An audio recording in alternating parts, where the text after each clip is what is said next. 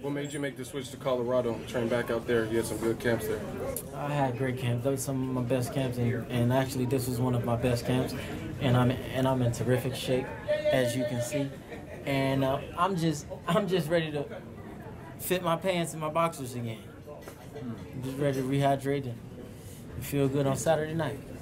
Anything special about fighting here with the media? You know, that this way they'll turn around and start saying positives. Um, hopefully, I hope so. Um, but at the end of the day, you know, if they don't, oh well.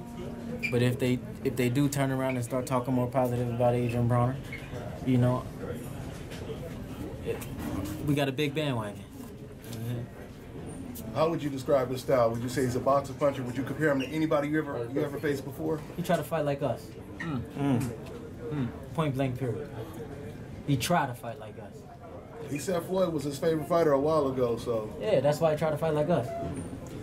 Yo, I know you said you didn't want to play the race card, but did, did you happen to see that uh, picture he posted on Instagram with the Mickey Mouse and the Donkey Kong? And, and if you saw it, what did you think about that? I, I don't be I don't be seeing it. Yeah, that was me. I was on his ass. You on his Yeah, ass? yeah, yeah. Nah, I was on his ass. We don't I play ain't like seen that. it. We don't play them type I, I, don't, I don't play them type games, but I don't, I don't feed into that. But you know what I'm saying?